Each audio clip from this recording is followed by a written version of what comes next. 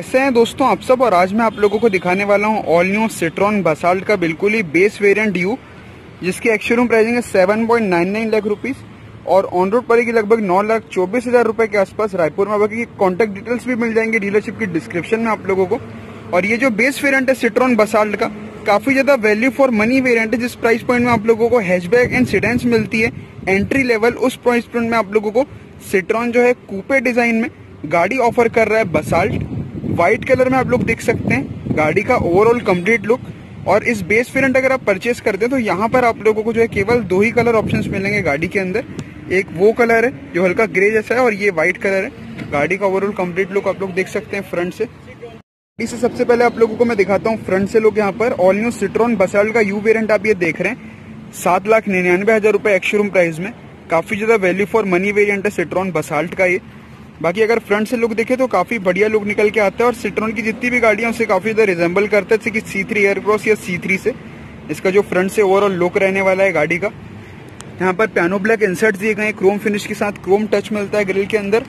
और नीचे की तरफ़ यहाँ पर मिलती है big size clear line halogen headlight with turn indicator bulb and parking light fog light लगाने के लिए space big size radiator grill बेहतर एयर इनटेक के लिए। और ये गाड़ी का है ओवरऑल कंप्लीट साइड से लुक सिट्रॉन की बसाल्ट का। जिस प्राइस पॉइंट में आप लोगों को मार्केट में हैचबैक एंड सिडेन मिलती है एंट्री लेवल वहाँ पर इस प्राइस पॉइंट में आप लोगों को सिट्रॉन कूपे एसयूवी प्रोवाइड कर रहा है गाड़ी के अंदर। बाकी फीचर्स से भी गाड़ी लोडेड मिलती है। सेफ्टी फीचर सारे मिल जाते हैं। सिक्स एयर बैग स्टैंडर्ड मिलते हैं। ABS EBD electronic stability control जैसे फीचर्स दिए गए हैं। रिवर्स पार्किंग सेंसर्स और यहाँ पर स्टील व्हील मिल जाते हैं आप लोगों को गाड़ी के अंदर, जो कि रहने वाले हैं 16 इंच के। फेंडर में टर्न इंडिकेटर आउटसाइड ओ ब्लैक फिनिश में। एंड आप लोगों का ब्लैक एंड ए पिलर भी दिया गया है, बी पिलर भी आप लोगों को ब्लैक एंड फिनिश में मिल जाता है। बाकी डोर हैंडल ब्लैक फिनिश में ही प्रोवाइड करे गए गाड़ी के अंदर। एंड ये गाड़ी का ओवरऑल कंप्लीट लुक है। प्रॉपर कूपे टाइप डिज़ाइन मिलता है गाड़ी के अंदर यहाँ पर। ओवरऑल जो इसकी लुक एंड फील है देखने वगैरह में, जो इसकी प्रेजेंस निकल के आती है गाड़ी की, वो काफ़ी ज़बरदस्त है। और बेस वेरियंट होने के बावजूद भी काफ़ी बढ़िया ओवरऑल लुक निकल के कंप्लीट गाड़ी लगती है। अगर आप इसको बाहर से देखें तो। बाकी कुछ इस तरीके की टेल लाइट्स मिलती है। टेल लाइट्स में भी कट दिए गए हैं बेहतर एरोडाइनमिक्स के लिए। 45 लीटर की फ्यूल टैंक कैपेसिटी मिलती है। और बेस वेरिएंट लेंगे तो यहाँ पर नेचुरली एस्पिरेटेड 1.2 लीटर का पेट्रोल इंजन आएगा, जो कि 80 हॉर्स पावर एंड 115 एनएम का टॉर्क निकाल के देगा। सस्पेंशन जो है गाड़ी के लाजवाब मिलते हैं। मतलब अंडुलेशन में और इसके जो व्हील्स का सस्पेंशन का ट्रेवल है, वो काफ़ी ज़्यादा बढ़िया मिलता है यहाँ पर गाड़ी के अंदर। एंड ये ओवरऑल लुक है पीछे। बाकी रूफ भी कंप्लीट डिज़ाइन में मिलता है आप लोगों को। पीछे सिट्रॉन की बैजिंग बसाल्ट की बैजिंग बम्पर के लोअर पार्ट आप लोगों को ब्लैक फिनिश मिलता है रिवर्स पार्किंग सेंसर्स एंड ये गाड़ी का एग्जॉस्ट टेल पाइप है, नीचे की तरफ़ राइट साइड में। और आइए गाड़ी का बूट आप लोगों को मैं ओपन करके दिखाता हूँ। तो दोस्तों, यहाँ से गाड़ी का बूट को मैंने अंदर से ओपन कर लिया। और यहाँ पर आप लोगों को बेस्ट इन सेगमेंट 470 लीटर का बूट स्पेस मिलता है। और जब गाड़ी आप लेंगे तो आप लोगों को व्हील कैप भी मिल जाएँगे बेस वेरिएंट के अंदर, जो कि कई सारी कंपनीज़ नहीं देती हैं। इस प्राइस पॉइंट के अंदर। बाकी इसको उठाएँगे तो इसके नीचे आप लोगों को स्पेस वगैरह दी गई है, वहाँ पे स्पेयर व्हील भी आएगी। बाकी यहाँ पर आप लोग देख सकते हैं कंप्लीट कवराइज मटेरियल का यूज़ किया गया है बूट के अंदर। रियर सीट जो है सिक्सटी फोर्टी स्प्लिट फ़ंक्शन में फोल्ड होगी कंप्लीट बेंच फोल्ड कर सकते हैं आप लोग ज़्यादा लगेज रखने के लिए। और पार्सल ट्रेन है उसके बाद यहाँ पे स्पेस जो है काफ़ी अच्छा मिलता है। कूपे टाइप डिज़ाइन है तो विंडशील्ड के साथ जो है रियर विंडशील्ड के साथ ही बूट ओपन होता है गाड़ी का। तो ये सारी जो चीज़ें काफ़ी ज़्यादा प्रैक्टिकल बना देती हैं सिट्रॉन की बसाल्ट को। और खासकर ये जो बेस वेरिएंट है गाड़ी का एंड इसका देखेंगे रियर सीट स्पेस कि वो कैसा ऑफ़र करती। और टायर की अगर चौड़ाई की बात करें तो आप लोग देख सकते हैं 200 560 R16 मतलब चौड़ाई और जो साइड वॉल है वो भी काफ़ी बढ़िया है। तो ये सारी चीज़ें भी जो है गाड़ी की राइड क्वालिटी को काफ़ी इंप्रूव करती हैं गाड़ी की।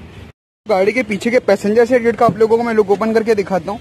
डोर की ओपनिंग आप लोग देख सकते हैं, काफ़ी वाइड ओपन होता है गाड़ी का डोर ऑल ब्लैक फिनिश दी गई है डोर के अंदर। यहीं से चाइल्ड लॉक सिस्टम यहाँ पर प्रोवाइड किया गया है।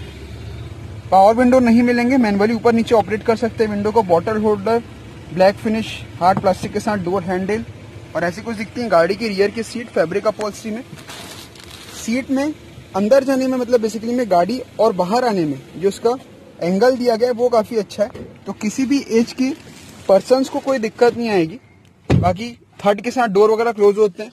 ग्लास एरिया काफ़ी अच्छे तरीके से यूज़ किया कंपनी ने और सिक्स एयर बैग्स और इलेक्ट्रॉनिक स्टेबिलिटी कंट्रोल जो बेस वेरियंट से ऑफ़र किया सिट्रोन ने, वो काफ़ी कमाल के फीचर्स सेफ्टी के तौर पे गाड़ी के अंदर दिए और ये फ्रंट डैशबोर्ड का लुक है पीछे की सीट से सिट्रॉन की बसाल्ट के बेस वेरिएंट का। बाकी लेगरूम वगैरह आप लोग देख सकते हैं, ये आगे वाली सीट पूरी आगे और ये मीडियम है।